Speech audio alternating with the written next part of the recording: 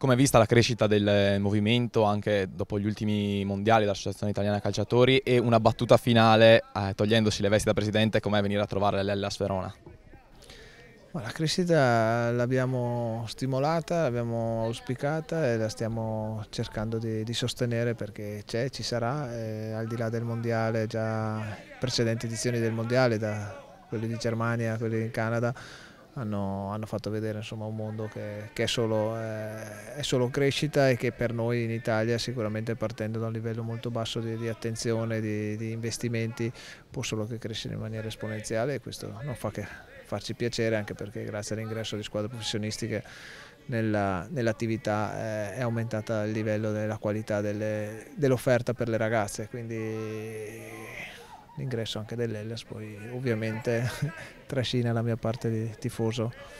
in questa vicinanza e poi insomma sempre l'emozione vedere lo scudetto dell'Ellas e quindi al di là delle vesti che poi devo ricoprire Super Partes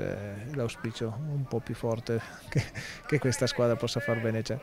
Katia Serra, responsabile per quanto riguarda il calcio femminile per l'Associazione Italiana Calciatori, state facendo insomma, il giro delle, delle, squadre della Serie A femminile, eh, che auspicio avete voi per la prossima stagione sportiva a livello di Serie A femminile e come state vivendo questa crescita? Beh, io ho coniato lo slogan inizierà il campionato più bello di sempre, perché sono convinta che siamo reduci da una stagione che ha dimostrato che il calcio in Italia è in crescita, ma credo che il campionato che si appresta ad iniziare dimostrerà un ulteriore livello, credo che sarà molto competitivo, ho visto che sul mercato le squadre si sono mosse bene per, per migliorarsi e pertanto mi aspetto che eh, la qualità che, che, abbiamo visto l'anno scorso si, si, sia incrementata anche perché le ragazze che hanno partecipato al mondiale hanno accumulato ulteriore esperienza che sarà di traino non solo per loro stesse ma anche per quelle più giovani che allenandosi tutti i giorni con queste compagne importanti possono accumulare segreti, eh, dettagli e capire che, che il percorso di, di, crescita è un percorso che hanno la fortuna magari di viverlo in casa con, con le proprie colleghe. Faccio una domanda complicata, voi che avete vissuto il calcio femminile prima di questo periodo di grande crescita, è più il rammarico di non poter giocare in questo, in questo momento o il senso di responsabilità di trasmettere un certo sistema valoriale alle ragazze di oggi? Padre,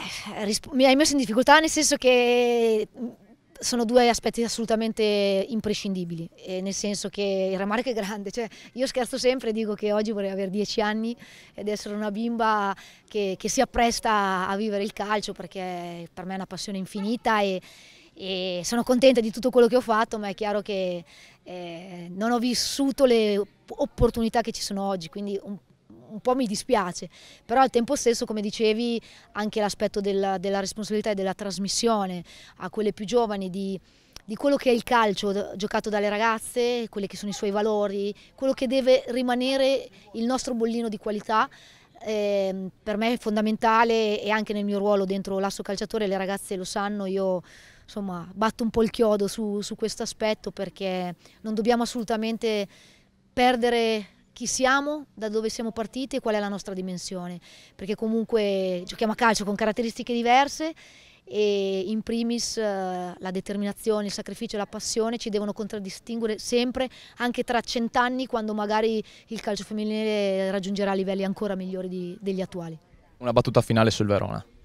Beh, l'Elas mi intriga tanto, devo dire che mm, secondo me ha migliorato notevolmente la qualità della squadra rispetto all'ultima stagione.